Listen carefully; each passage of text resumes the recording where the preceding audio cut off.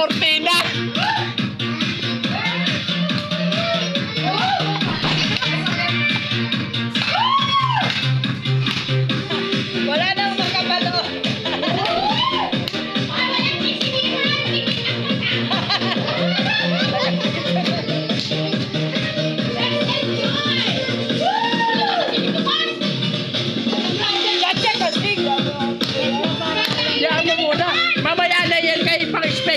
పెట్టే ఇక్కడ చదువుతూ